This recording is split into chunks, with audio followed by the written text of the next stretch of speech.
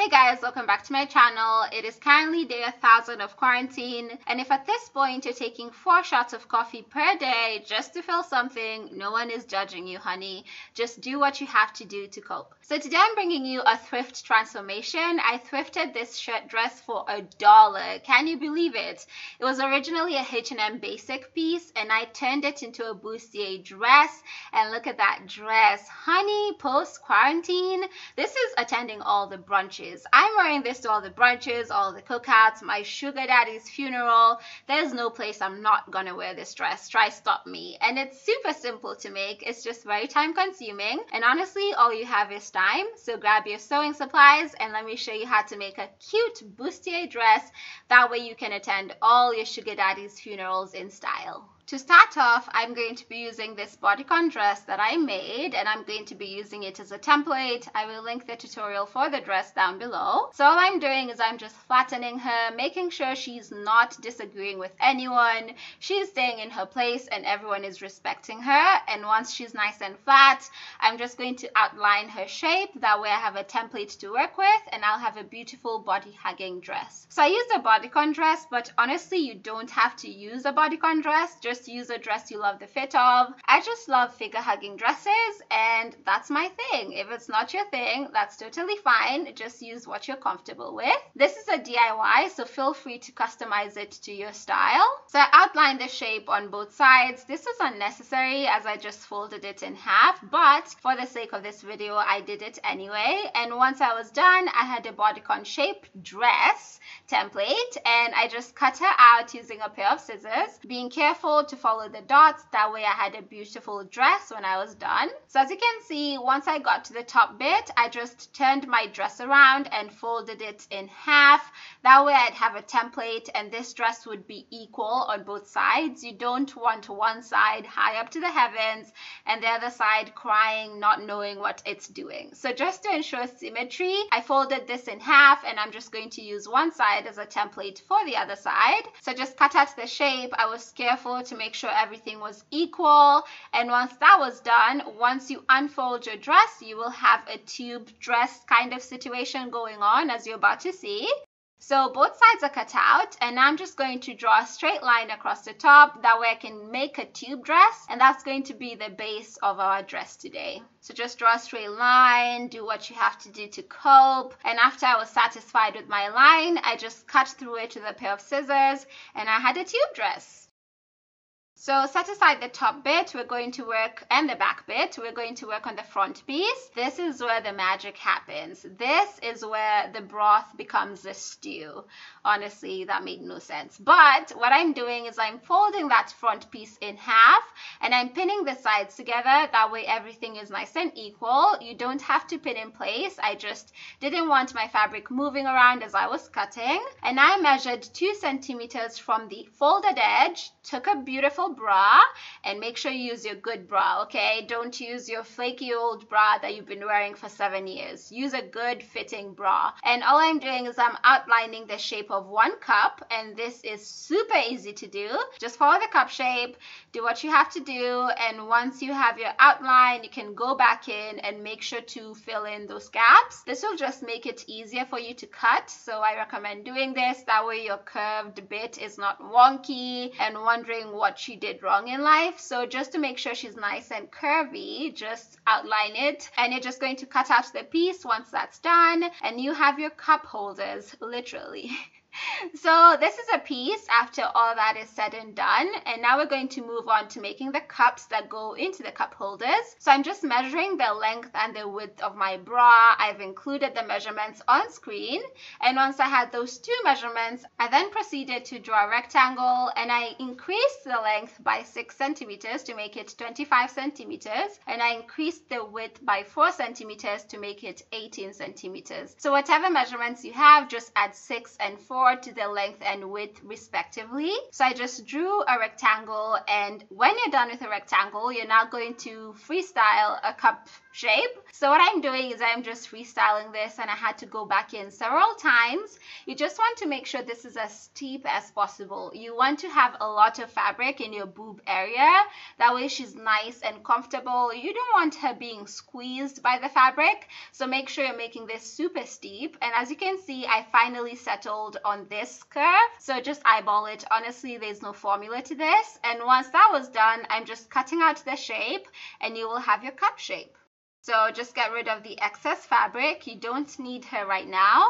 And you're just going to fold this in half. That way everything is nice and symmetrical. There's some kids yelling in the background. I'm so sorry. So just going to make sure this is symmetrical. And then you're going to cut out the excess bit of fabric. And you will now have your cup shape, which is where your boob is going to make its home. Yes, I went there. And I marked the insides with an eye just to make sure I didn't get the two sides confused because that can be annoying. And then I put the two cups together, wrong side facing each other. I just wanted to make a slanted line at the top, so I measured an inch from one corner and joined that corner to the other corner. That way I'd have a slight curve to my boob cups. Honestly, this wasn't so noticeable when I was done, but hey, I think it was a cute little detail and I tried. So once everything is cut out, you now have a bit of a slant to your cups if you can see that. And now we're going to hem the top, that way it can look nice and neat. You honestly don't have to do this, but it just gives your cups a more finished professional look and that's what we're always going for on this channel. So moving on to the sewing machine, I'm just folding in my fabric once and doing a zigzag stitch along the edge. This is super simple to do and I recommend you use a zigzag stitch if your fabric is a knit fabric, stretchy. You want her to be accommodating to everyone and no one is feeling left out and the zigzag stitch is accommodating. So once you've hemmed the top of both cups, you're going to cut out a bit of elastic that is the length of the cups you cut out. So I'm just measuring a piece of elastic, cutting off the excess bit, and you will be left with two pieces of elastic. So now on my hemmed cups, I'm going to mark half an inch from the top, and this is where you're going to attach your elastic bits. You can vary this measurement and make it longer or shorter if you like. It's your world, baby, and we're just living in it. So do whatever you want to do. So with that bit of elastic, we're now going to sew it from one end to the other, and I'm just pinning it in place just just to ground her, just to humble her, for her to know I'm the boss and she can't do what she likes because Elastic will try you, okay? So you need to keep her in check.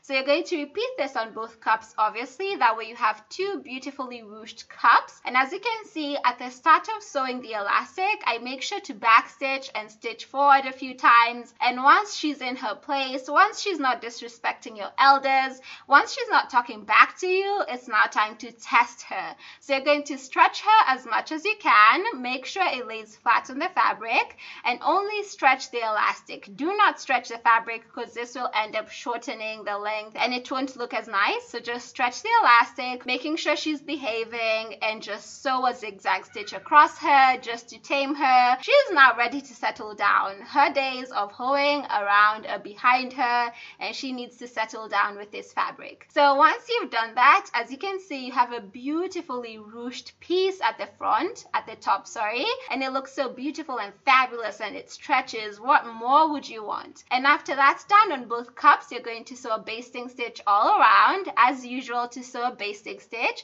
just switch to a straight stitch and increase your length to the longest length, minus five. Always make sure you have a lot of hanging thread. That way you have something to pull on when you're ruching. And you're basically just going to do a straight stitch all around. Do not backstitch because backstitch backstitching will ruin your life. Backstitching is that guy who tells you he loves you, but he doesn't really love you. And if you backstitch when you're basting, you will cry yourself to sleep every night, just like you will after that guy dumps you. So just sew a straight stitch all around. Do not backstitch at any point because you want to be able to pull the threads. So do what you have to do. Make sure you sew that thread. And when you get to the end, do not backstitch. I have said that a few times. If you end up backstitching, this is on you, okay? Now it's time to ruche your cup. That way she fits nice and snug around your boobs. So we are pulling on the top thread here. Do not pull on the bottom thread unless you want your string to break. Or if you choose to pull on the bottom thread, do not pull on the top thread. So choose a struggle, okay? And you're just going to pull on one thread and pull it and ruche the fabric. Ruche it to your heart's content. Make sure everyone is obeying the government. Everyone is observing the social distancing laws.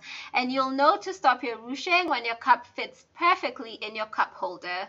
So just ruche and ruche and ruche and ruche until your cup is the same size as where you're going to attach it. So here I am just aligning everything, making sure they're perfect for each other.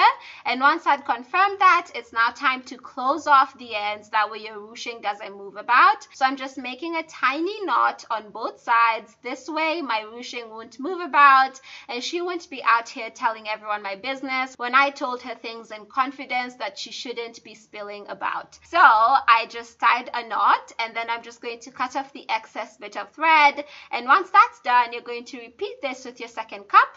And now you have two comfortable cups for your boobs. These are homes for your boobs and they're so nice. So now it's time to work on the piece you cut out. So all I'm going to do is I'm going to hem that top bit. So a zigzag stitch to make sure she looks nice and neat. And now it's time to attach the cups with pins. This just helps the sewing process go so much faster. So I highly recommend you do this. So I'm just aligning the cup with the dress and this time the dress is the wrong way up and they're just going to sew to attach the cups. So we're going to move on to the sewing machine and we're going to do a zigzag stitch because that's what you need to use for stretchy fabrics. Trust me, you don't want to use a straight stitch on knit fabrics. The straight stitch doesn't care for anyone else. She doesn't accommodate stretching, whereas the zigzag stitch accommodates everyone. She allows people to stretch to their maximum potential. So always use zigzag stitch stitches when sewing stretch fabrics. It just allows the fabric to stretch. That way you won't be crying as you put this dress on. So I always make sure to take out the pins before I sew because pins can break your needle and trust me that is the last thing you want. So I just sewed a zigzag stitch across that area I'd pinned down and I repeated on both cups and now you have your cups attached to the top of your dress and you are basically almost done with this tutorial. So now we're going to work on the back piece. Super simple. You're going to hem the top and I just did this by folding in the fabric once and sewing a zigzag stitch across the bottom edge. Once that was done, my back piece was nice and neat. She was now ready to show up and be the star of the show. What I'm doing now is I'm putting the back piece right sides kissing with the front piece and I'm just going to pin the sides together. That way we can sew everything and this will be a complete dress. So I'm just pinning the fabric together, making sure everyone is nice and aligned. They're perfect for each other. They're not going to be driving each other crazy once been married for a few years. So once I pinned both sides, I'm now going to sew a zigzag stitch across both sides and you will basically have a dress. So moving on to the sewing machine, you know the drill. Make sure you take out your pins because you're a good citizen and you follow the law. And you're just going to do a zigzag stitch across the area you pinned down. Always, always, always backstitch when you end and start your sewing. I shouldn't have to mention that at this point because this is what prevents your fabric from unraveling. So this dress was super tight and this zigzag stitches were put to the test. Trust me, they were fighting for dear life. But as I said, said the zigzag stitch is accommodating and she allows people to be free. So always use a zigzag stitch. And as you can see, she allows for stretch. And as I said, you basically have your dress at this point. So now we're going to move on to making the sleeves for this cute number. And all I'm doing is I'm cutting off the sleeves of the shirt. So I did this all around just to make sure I was getting sufficient sleeve. And once I had done that on both sides, I now had two pieces of sleeve that we're going to finesse to turn into beautiful ruched sleeves. So I just eyeballed a curve. Honestly, this had no formula. I just did not want so much excess fabric at the top of my sleeve. So once I'd eyeballed a curve, I just cut off the excess bit of fabric and you're going to repeat this on the other sleeve. That way they're nice and symmetrical. So get rid of the excess fabric. Use this as a template on your second sleeve. That way everything is nice and equal and your sleeves actually look like sisters. Honestly, my sleeves were not that similar from the back, but from the front, they looked fine. And who's checking the back anyway? If you're checking my back, you're too close for comfort. Anyway, I digress. So what we're going to do is from the bit of fabric we have left, I'm going to cut out two rectangular pieces that are eight and a half inches long. And I'm just going to snip them off. I'm going to use my scissors to do this and you're going to have two rectangular bits. So I wanted to add some pieces to my sleeves that way they'd be nice and long and the longer your sleeve the more ruching you will have. So I ended up with this four pieces. I think they were about an inch each and I'm just going to attach two pieces to one sleeve. So as you can see I'm just attaching it to the end of the sleeves and this would make my sleeves really long which would create that beautiful ruched effect once we added the elastic. So just going to sew a zigzag stitch to attach these pieces to your sleeves and once that's done you have a longer sleeve. Honestly at this point I should have let them be that length. I shouldn't have trimmed off the excess length because I thought they'd be too long but the more fabric you have the more ruching you will have. So I recommend you leave this long and just ruche a lot more that way your sleeves are very nice and ruffled. But I ended up cutting off a bit more than I wanted and that's fine. We make mistakes and we learn from them. So I ended up snipping off some excess fabric. Honestly, don't do this. Just use the sleeve as is. And all I'm doing is I'm attaching elastics that are the width of my arm. That way the sleeves stay up and they stay snug and nice on my arm. So I'm just going to do the same thing I did with the ruching at the top of the cup. I'm just going to backstitch a few times to secure the elastic. And now you're going to pull on the elastic to make sure you're ruching up that sleeve. So really pull on her, really test her, see if she'll tell the police that you are the one who killed your sugar daddy. Really, really put her through it and stretch the fabric and sew a zigzag stitch across the elastic. This will gather your fabric and at the same time create a sleeve that will fit nice and snug around your arm. And you're going to do this at the top and bottom of your sleeve. That way you have a nicely ruched sleeve. And now you're going to put this right sides together. That way you can sew on the inside and your sleeve will be closed. So I just did a zigzag stitch across that point, nothing fancy, super simple to do. Just do your zigzag stitch, take your time, think about how bomb you're going to look at those cookouts with this dress, and always backstitch because if you do not backstitch, you're the kind of person who walks slow in public and you deserve to be I'm not gonna say it, but yeah, you deserve a lot of bad things. So now it's time to attach the sleeves to your dress, and I just marked one and a half inches from the top edge. I then made a very small curve. I wanted the sleeves to be securely attached. You could just attach them without cutting off any fabric, but I wanted to do it different this time. So I'm just drawing a tiny little curve on both sides and then cutting off the excess bit of fabric. And once I'd done that on both sides, it was now time to attach my sleeves. So make sure you're aligning the seams. That way everything is nice and even. And you're just going to pin this in place. That way sewing is a breeze. I don't understand why children are screaming outside. They should be quarantining. Anyway, I'm just pinning the sleeve to my dress all around. And this is super simple to do.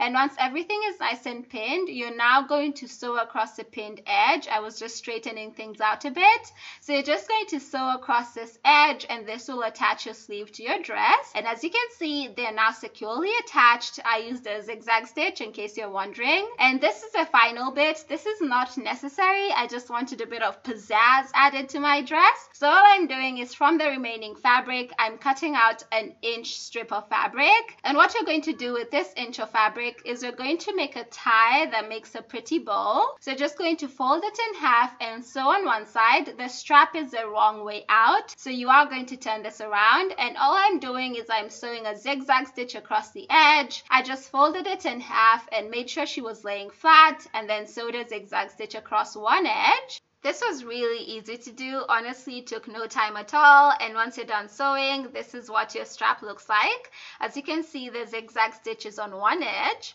So now it's time to use this handy dandy tool called a loop turner. You're going to use it to turn this the right way out. I highly recommend this loop turner. Since she came into my life, my relationships have been working out. She has made all the difference in my life, so I highly recommend her. So all I'm doing is I'm just using it to turn this the right way around. So I'm just going to grab a piece of fabric with a hook at the top. As you can see, that's a bit of fabric. It's very small, but that's what you need to do to make this work. And then I'm going to close that hook and I'm going to turn the strap within itself. So this does take a bit of finessing. You need to know people, talk to the right people. That way the right things can happen to you. But with a bit of finessing, you will have this down.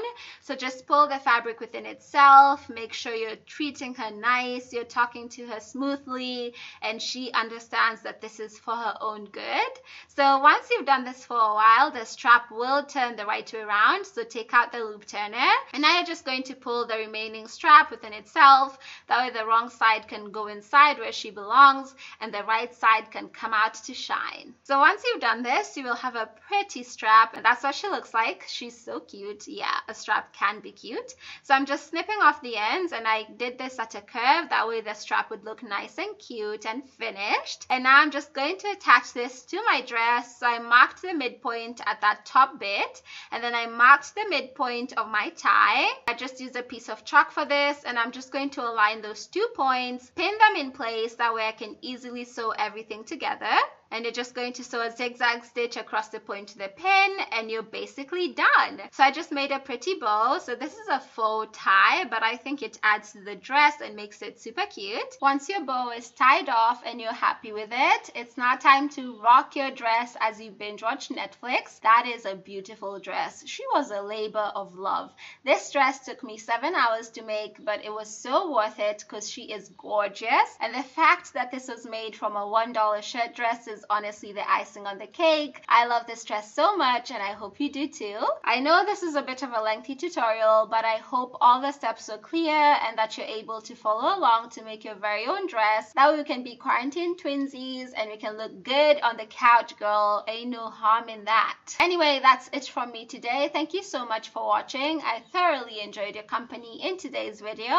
I hope you'll consider joining me for the next one. But until then, stay safe, social social distance and remember to mind your business, take your water and your vitamins because God knows with 2020 we need all the help we can get. Anyway, see you soon. Bye.